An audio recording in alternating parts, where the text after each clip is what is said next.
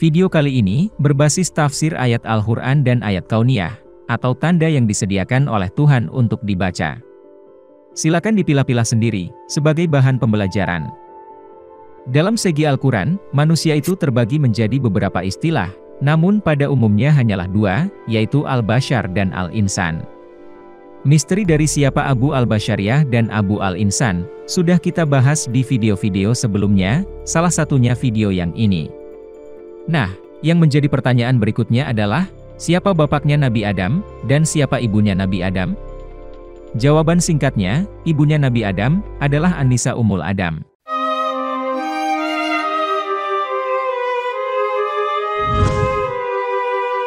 Jika kita membaca kajian yang sudah umum, atau yang paling banyak di copy paste, kita mendapati sebuah kesimpulan, bahwa Adam adalah manusia pertama di bumi.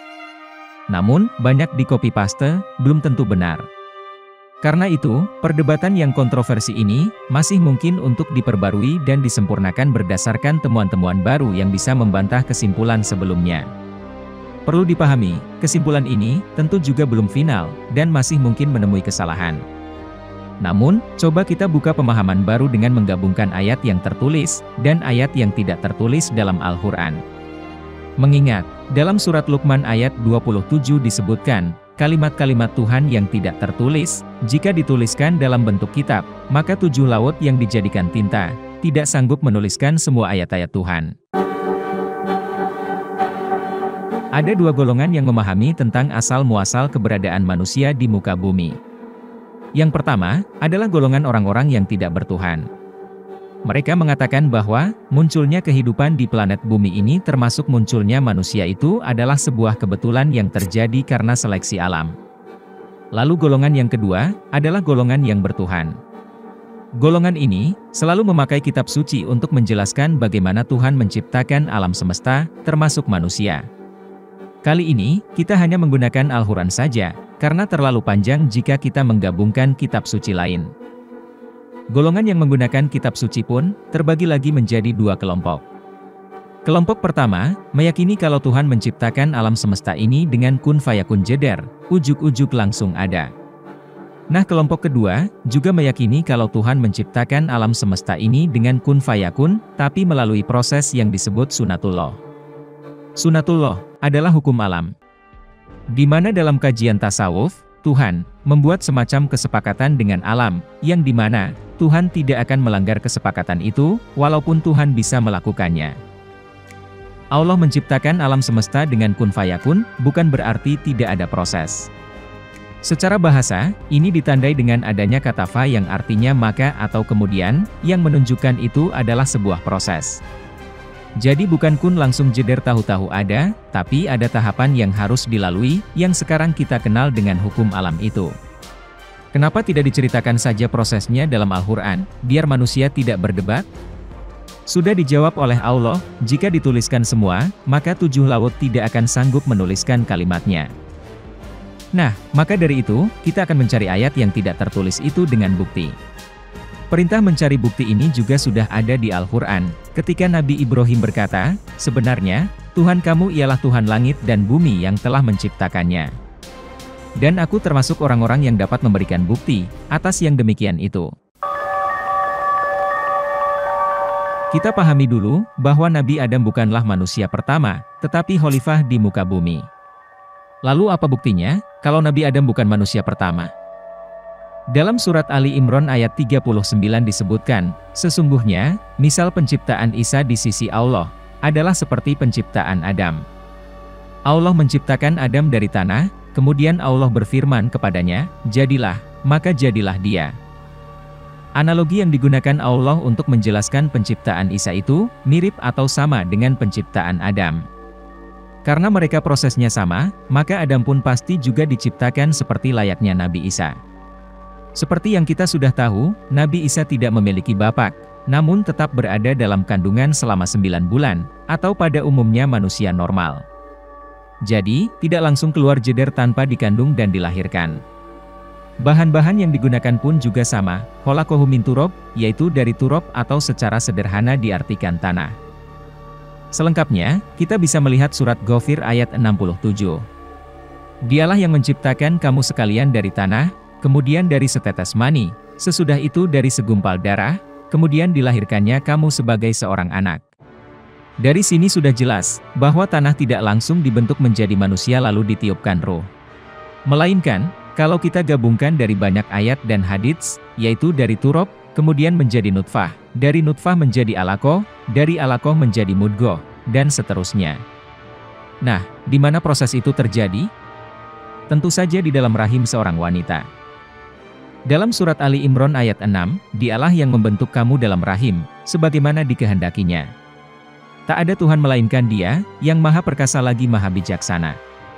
Uniknya, ayat ini diakhiri dengan kalimat kalau Tuhan itu maha perkasa, yang berarti, walaupun Allah menciptakannya dengan proses di dalam rahim, ini tidak membuat keperkasaan Allah menurun, karena inilah yang dikehendakinya, dan merupakan kesepakatan Tuhan dengan alam. Kemudian kalimat yang maha bijaksana, ini menandakan, kalau setiap proses yang terjadi itu, adalah hasil kebijaksanaan Tuhan. Di mana, jika hasil kebijaksanaan ini kita pelajari, maka bisa dimanfaatkan oleh manusia. Analoginya seperti ini, ketika Allah menurunkan dari langit air hujan, dan dengan air itu dihidupkannya bumi sesudah matinya. Sesungguhnya, pada yang demikian itu benar-benar terdapat tanda-tanda kebesaran Tuhan, bagi orang-orang yang mendengarkan pelajaran. Di sini, tidak diceritakan kalau Allah menciptakan panas matahari dulu, lalu dari panas itu menguapkan air ke udara, lalu dari uap air itu membuat langit menjadi awan mendung, awan yang semakin berat baru menjatuhkan air ke bumi, yang disebut hujan. Nah, proses inilah, yang merupakan ayat kauniyah yang harus dipelajari manusia. Kemudian, jagat raya, tidak tercipta satu detik ketika Allah mengucapkan kun, langsung jeder ada miliaran planet. Tetapi membutuhkan enam masa, yang berarti itu melewati sebuah proses, yang akan terlalu panjang jika diceritakan dalam Al-Quran yang sekarang hanya 30 juz itu. Nah, pertanyaan selanjutnya adalah, siapa ibu dari Nabi Adam? Dalam Al-Quran, beberapa orang tua para nabi tidak disebutkan, bahkan nama orang tua dari Nabi Muhammad pun, tidak kita temukan dalam Al-Quran. Nama orang tua Nabi Muhammad, diperoleh berdasarkan kajian sains atau ilmiah, yang kemudian ditarik kesimpulan berdasarkan urutan kronologi dan riwayat-riwayat, baik dari hadits, maupun dari sumber sejarah.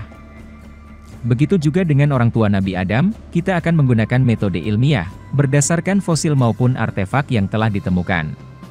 Karena, itu bisa kita jadikan bukti untuk memperoleh keterangan, siapa sebenarnya orang tua dari Nabi Adam, bukan hanya berdasar keyakinan tekstual semata.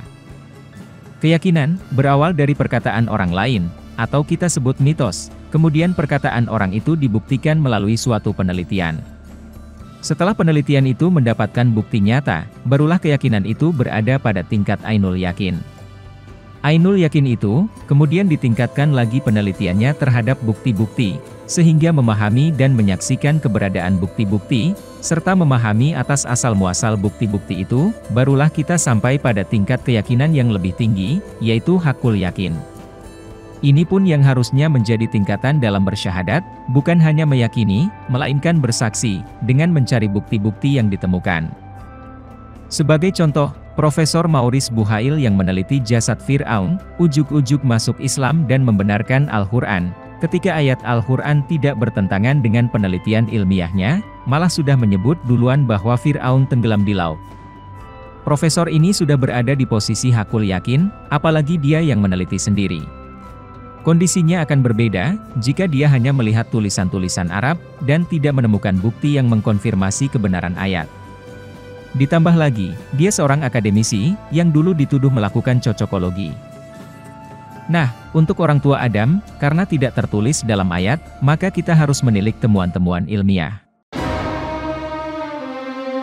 Dalam dunia arkeologi, antropologi, dan sejarah mencatat, manusia disebut dengan nama ilmiah Homo. Manusia Adam, disebut Homo sapien, atau manusia cerdas, atau yang berpengetahuan. Nah, Homo sapien ini, didahului oleh Homo erectus. Homo erectus ini, adalah manusia yang bentuknya mirip seperti manusia sekarang, namun belum sempurna kecerdasannya. Homo erectus, memiliki volume otak yang lebih kecil dibanding manusia sekarang. Di mana, hanya berkisar 800 hingga 90 cm kubik, sedangkan kita memiliki volume otak sekitar 1200 hingga 1500 cm kubik. Dari sinilah, kita dapat mengetahui kalau Homo erectus belum memiliki kecerdasan intelektual maupun spiritual. Kemudian, dari yang belum sempurna, maka disempurnakanlah dengan diutusnya Adam sebagai khalifah di muka bumi. Nah, Adam inilah yang mengawali adanya Homo sapien. Dia diutus untuk memimpin para Homo erectus ini, karena sebagai seorang nabi, haruslah lebih pintar dari umatnya. Ini juga yang menolak anggapan bahwa Nabi Adam manusia pertama. Karena, dalam surat Ibrahim ayat 4 disebutkan, kami tidak mengutus seorang rasul pun, kecuali dengan bahasa kaumnya, agar dia dapat memberi penjelasan kepada mereka. Ini menandakan kalau ada kaum yang dipimpin Nabi Adam, yaitu manusia-manusia yang seangkatan dengan orang tuanya.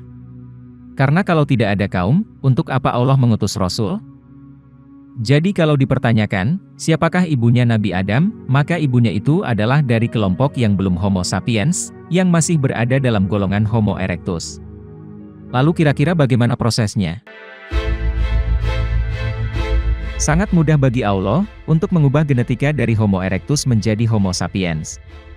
Terjadinya di mana? Bukan di luar rahim, tetapi di dalam rahim. Ketika calon ibu dari calon Adam ini mengandung, di sinilah proses perubahan genetika terjadi. Stem cell membawa perintah untuk menyempurnakan dirinya, sehingga terbentuklah anggota badan seperti tangan kaki dan sebagainya, dan membawa perintah Tuhan untuk menjadi khalifah.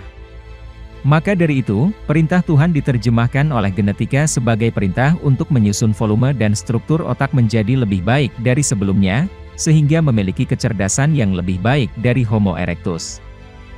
Nah, inilah yang membuat kaget para malaikat, ketika Allah hendak menjadikan khalifah di muka bumi. Menurut malaikat, kemarin-kemarin kan sudah. Dan mereka membuat kerusakan serta pertumpahan darah. Lalu dijawab oleh Allah, Aku mengetahui apa yang tidak kamu ketahui. Inilah yang tidak diketahui malaikat, bahwa Allah menyempurnakan dari Homo erectus, menjadi Homo sapien yang lebih cerdas, dan lebih stabil secara emosional. Lalu pertanyaan yang sepertinya agak kurang penting, siapa nama ibu dari Nabi Adam? Penyebutan nama orang tua Nabi, biasanya memiliki kepentingan yang sangat mendesak. Seperti misalnya Isa ibnu Maryam, yang disebutkan dalam Al-Quran.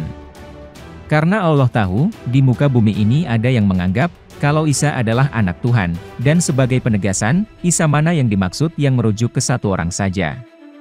Sedangkan Adam, ada kemungkinan bukan satu orang, seperti yang sudah kita bahas di video sebelumnya. Jika memang dipaksakan, maka, nama yang bisa kita berikan, adalah Siti Anissa Umul Adam. Kalau dalam bahasa Indonesia, yaitu seorang perempuan ibunya Adam. Ini biasa kita pakai dalam kehidupan sehari-hari, jika ingin memanggil orang yang lebih sopan, atau hanya mengetahui nama anaknya. Seperti ibunya Lala, mamanya Rizky, Biunge Warsito, dan sebagainya. Nasib Homo erectus ini, sekarang sudah punah, karena kemalasannya beradaptasi dengan iklim. Berbeda dengan Homo sapien, yang menggunakan kecerdasannya untuk menciptakan alat-alat dan tempat tinggal yang lebih efisien. Kemudian, misterinya adalah, fosil Homo erectus ditemukan di beberapa tempat. Salah satu yang paling terkenal, adalah di Indonesia. Mereka tersebar di sepanjang Bengawan Solo, seperti di sangiran perbatasan Karanganyar dan Sragen, Trinil Ngawi, Sambung Macan Sragen, dan Ngandong Kradenan Kabupaten Blora Mustika. Nah, jika Adam adalah satu orang, bukan banyak orang, maka, Indonesia berpotensi menjadi tempat lahirnya manusia cerdas pertama kali, dan satu-satunya di dunia. Konsekuensinya, Indonesia adalah asal dan awal mula peradaban tinggi, yang paling pertama di muka bumi. Manusia-manusia cerdas ini, sering dianggap dewa oleh kelompok yang tidak begitu cerdas. Maka jangan heran, kalau Indonesia disebut sebagai tanah dewata, atau tanah lahirnya para dewa.